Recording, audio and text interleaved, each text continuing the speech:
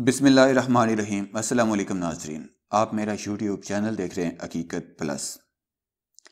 आस्ट्रिया में दहशत गर्दों का हमला, सात अफराद हलाक मुतद जख्मी। दारुल हुकूमत वियाना में यहूदी अबादत गाह के करीब फायरिंग।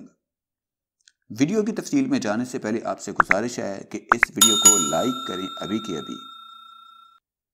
आस्ट्रिया के दारुल हुकूमत वियाना में दहशत गर्दी का एक अफसोसनाक वाक़ पेश आया है, जिसके नतीजे में सात शहरी हलाक हो गए हैं।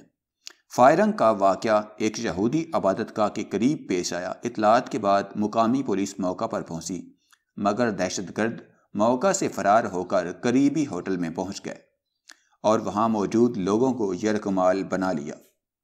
पुलिस ने छापेमार कार्रवाइयाँ भी शुरू कर दी हैं और होटल और रेस्टोरानों को अपने घेरे में ले रखा है। शहर के मुख्तलिफ़ इलाकों में छापामार कार्रवाइयाँ भी शुरू कर दी गई हैं। फारंग के इस वाक़े में अभी तक सात अफराद हलाक हैं, जबकि मुतद ज़ख्मी हैं। हलाक होने वालों और ज़ख्मियों को अस्पताल मुंतकिल कर दिया गया है। पुलिस हुकाम का कहना है कि बज़ाहिर ये वाक़ दहशत गर्दी का लगता है, मगर हमला आवर नामालूम है और अभी तक कुछ कहा नहीं जा सकता कि ये हमला किसकी जानब से हो सकता है। जबकि पुलिस हुकाम का दावा है कि पुलिस और दहशत गर्दों के दरमियान फायरिंग के तबादले में एक हमला आवर भी मारा जा चुका है। मगर अभी तक पुलिस होटल में यरकमाल बने शहरियों को बाजियाब कराने में नाकाम है।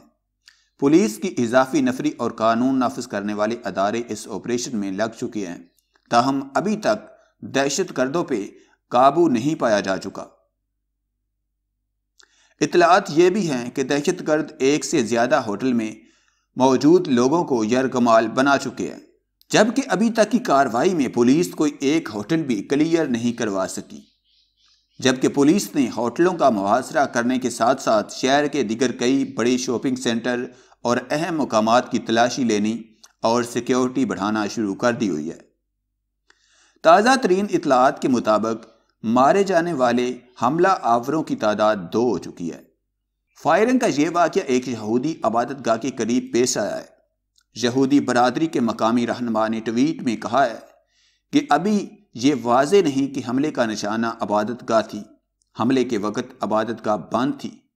एक मुकामी अखबार के मुताबिक आबादत गाह की हफाजत पर मामूर सिक्योरिटी गार्ड इस हमले में जख्मी हुआ है।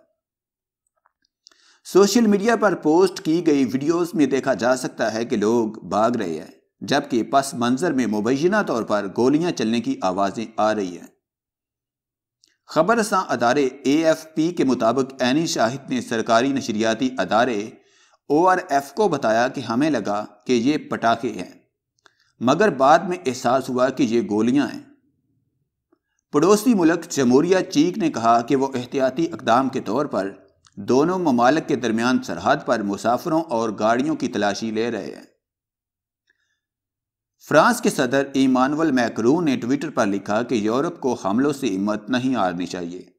उन्होंने कहा कि हम फ्रांसीसी लोग, ऑस्ट्रियाई लोगों के सदमे और दुख में शरीक हैं, जिन्हें इनके दारुल हुकूमत वियाना के दिल में इस शाम होने वाले हमले से दचका लगा है। फ्रांस के बाद हमारे एक दोस्त पर हमला हुआ है। ये यूरोप है। हमारे दुश्मनों को मालूम होना चाहिए कि उनका सामना किससे है। याद रहे कि गुजशत हफ़्ते फ्रांस के शहर नेस के एक गिरजा घर में चाकू के हमले में तीन अफराद हलाक हो गए थे। बरतानिया के वज़ीर अजम बोरिस जॉनसन ने वियाना के दारुल हुकूमत के लिए ट्विटर पर पैगाम जारी करते हुए कहा कि वो वियाना में आज होने वाले हमलों से नहायत सदमे के शिकार हैं।